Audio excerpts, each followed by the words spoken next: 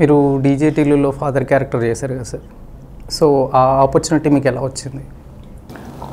అంటే వాళ్ళు ఒక డీజే టిల్లు క్యారెక్టర్కి ఫాదర్ క్యారెక్టర్ కోసం ఒక ఆర్టిస్ట్ను వెతుక్కుంటున్న సందర్భంలో సరి అయిన వాళ్ళకు తృప్తి కలక్క తరుణ్ భాస్కర్ గారిని అడిగారు.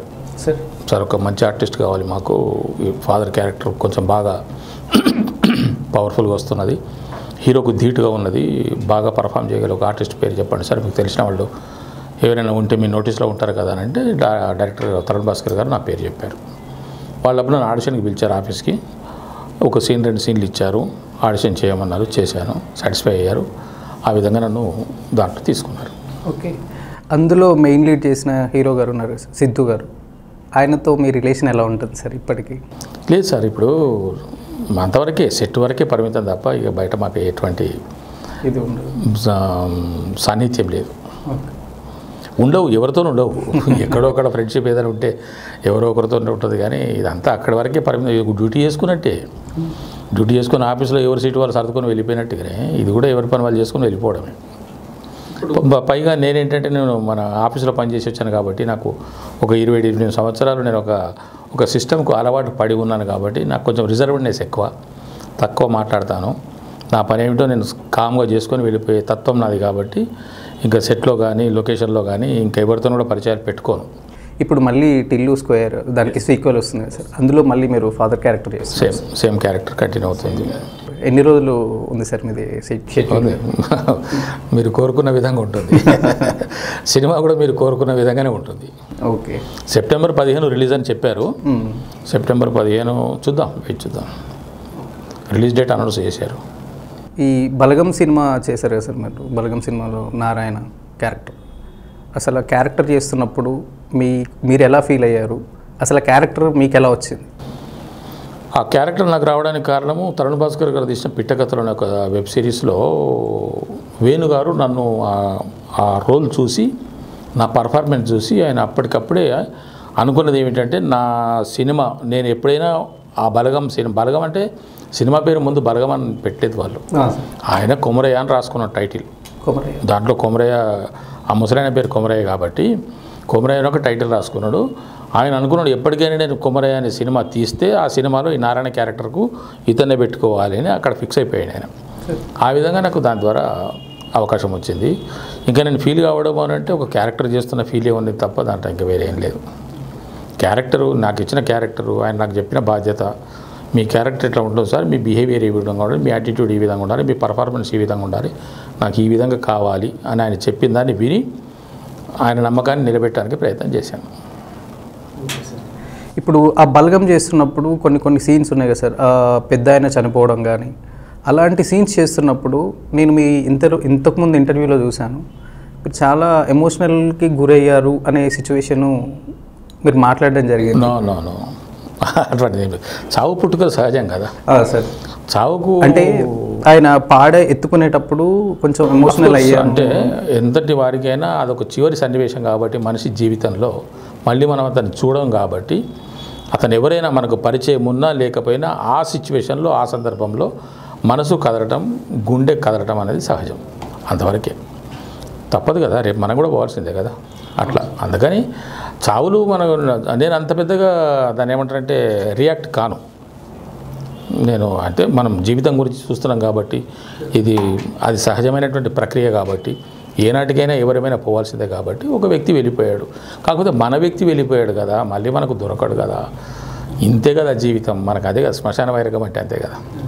ఆ దప్పుల సప్పుడు ఎప్పుడైతే చావు వచ్చి వాళ్ళు ఏ మనిషి అయినా కూడా అంతసేపు శవం పక్కన ఉన్న కంట్రోల్ చేసుకుంటూ ఉన్నా కూడా శవానికి స్నానం చేయించి శవానికి స్నానం చేయించి కొత్త బట్టలు కట్టి ఎప్పుడైతే బయట డప్పుల సప్పుడు అవుతుందో అప్పుడు ఖచ్చితంగా ఎవరైనా కదలాల్సిందే. ఆ సందర్భంగా అక్కడ కూడా అదే జరిగింది. ఆ శవాన్ని పడుకోబెట్టడం అవన్నీ చేసే వరకు బాగానే ఉంది. ఆ డప్పుల సప్పుడు వచ్చే వరకు కొంచెం ఎమోషనల్కి గురయ్యారు. అవుతుంది అవుతుంది. కావాలి కావాలి. ఆ గుండె ఉండాలి. అందులో మీతో పాటు యాక్ట్ చేశారు కదా మీ వైఫ్గా రూపలక్ష్మి గారు. మ్మ్. ఆమెతో మీ ఎక్స్పీరియన్స్ ఎలా ఉంది సార్? రూపలక్ష్మి గారు చాలా సీనియర్ నటి నాకన్నా. ఆవిడ చాలా అంటే నాకు అంతకుముందు ఆవిడ పరిచయం లేరు. ఆ రోజే మొట్టమొదటిసారి మేము పాల్గొన్న సన్నివేశంలో మేము కలుసుకున్నది. అంతే ఆమె బాగా అనుభవజ్ఞరాలు కదా. సో బలగం సినిమాలో మీ కూతురు క్యారెక్టర్ చేసింది కదా కావ్య కళ్యాణ్ రామ్. సో ఆమె చిన్నప్పటి నుంచి వెండి తెరకు పరిచయం. అని విన్నా నాకు తెలియదు అంటే ఎప్పుడు చూడలేదు సార్ ఆమెని. సో ఆమెతో మీ ఎక్స్పీరియన్స్ ఎలా ఉంది? నేను నేను ఆమె బహుశా రెండు రోజులు మూడు రోజులు వర్క్ చేసాం అంతే. అంతే. అది ఆ సందర్భంలో కలుసుకున్నది తప్ప ఇంకా వచ్చేప్పుడు మాట్లాడింది కానీ అంటే వాళ్ళకు హీరోయిన్ స్టేజ్ వేరు ఉంటుంది. కొంచెం బాగా పాపులర్ ఆర్టిస్టుల స్టేజ్ వేరు ఉంటుంది. నాలాంటి అప్కమింగ్ వాళ్ళకి ఉండే స్టేజ్ వేరు ఉంటుంది కదా. ఆ విధంగా ఎవరి స్టేజ్లలో వాళ్ళు ఉంటారు. ఇప్పుడు వేణు గారు బలగం సినిమా తీశారు కదా. సో నెక్స్ట్ ఫర్దర్గా ఇంకో స్క్రిప్ట్ రాయబోతున్నారు అని తెలిసింది. అనౌన్స్ కూడా చేశారు. అదే దిల్ రాజు గారి బ్యానర్లో. సో అందులో మీకేమన్నా మళ్ళీ అవకాశం ఇచ్చే అవకాశం ఉందా? వాటి గురించి నేను చెప్పలేను. కబురు వచ్చేదాకా మనకేం తెలియదు కదా.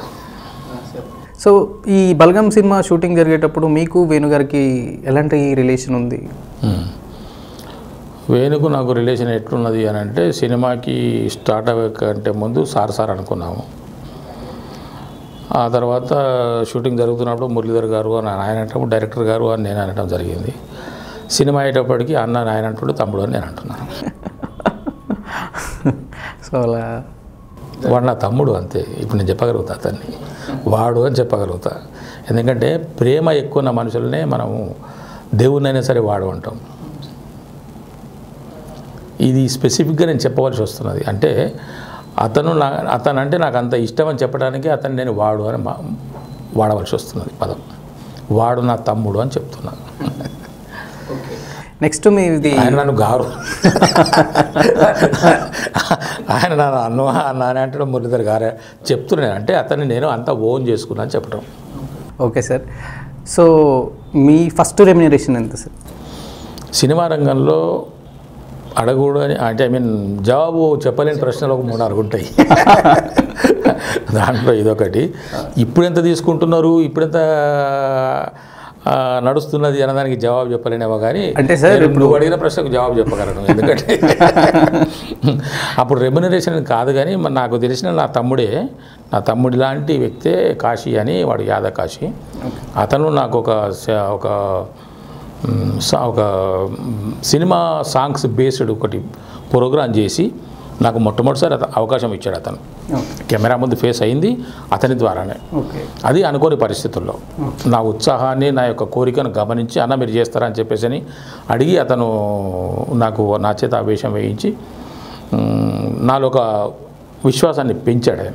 అంటే సినిమాలకు ముందేనా సార్ ఇది సినిమాలకు ముందే. సరదాగా ఏదో ఒక ఆయన షూట్ చేస్తుంటే నేను అక్కడికి వెళ్ళాను. వెళ్ళి నా ఉత్సాహం చూసి అన్న మీరు చేస్తారా? అంటే నువ్వు ఇస్తే చేస్తాను అని అన్నాను. సరే చేయండి అని చెప్పేసి అని ఇచ్చాడు. ఆ విధ అది నా మొట్టమొదటిసారి కెమెరా ముందు రావడం. ఆ విధంగా మాకు ఒక గొప్ప ఆర్టిస్ట్ సరదాగా అప్పుడు వాడు నాకు అన్న ఖర్చులకు ఉంచుకొని? ఐదు వందలు ఇచ్చాడు. వద్దు వద్దని నేను అప్పటికి కూడా. ఏదే నాకెందుకు తెమ్మంటే ఉండాలన్నా ఉంచుకో అని చెప్పేసి నాకు ఐదు వందలు ఇచ్చాడు. Okay sir.